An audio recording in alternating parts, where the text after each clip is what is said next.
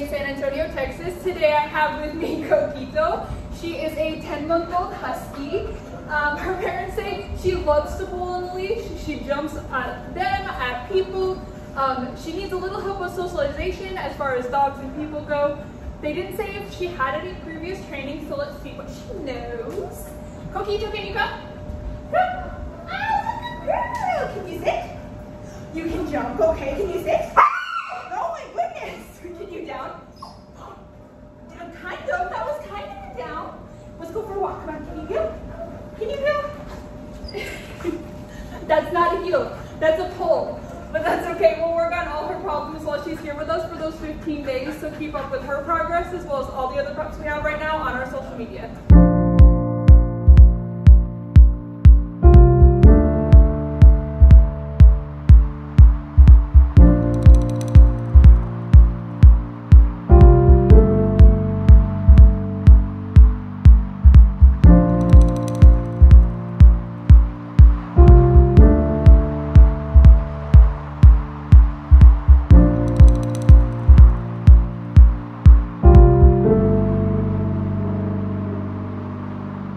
Bye.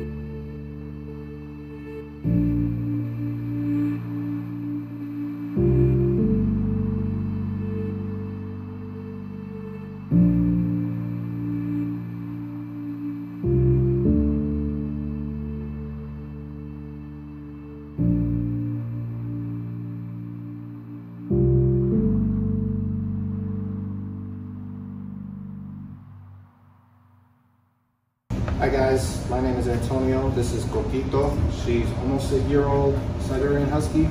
And uh, I uh, just wanted to say very, very impressed. We just had our training session and uh, we, uh, we, we knew we had uh, our hands full with this one. She's a very, very stubborn young pup.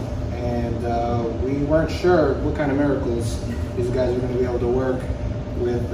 but just in the short time, um, we definitely see the difference already. She's a lot calmer. She's a lot more, um, uh, well, she's trainable she listens a little bit more. She's still stubborn, still very stubborn, but she definitely has learned a lot and has uh, grown a lot. I don't want to say she's a different dog because that's not what we brought her here to be, but uh, she's definitely a much more manageable, um, energetic young pup. And uh, I just wanted to say thank you guys for, um, for everything that you did